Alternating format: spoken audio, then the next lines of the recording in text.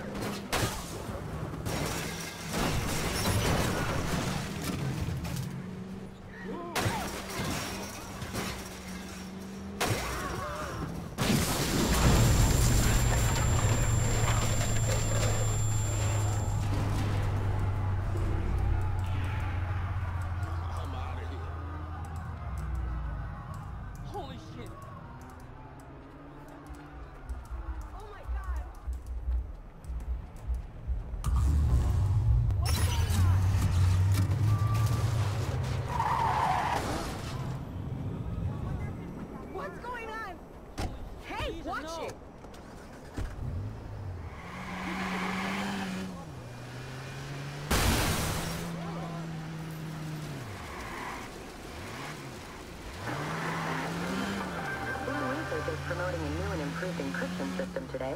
PR Director Charlotte Gardner has gone on record saying that a failed data leak attempt this morning is proof that the corporation is more secure than ever.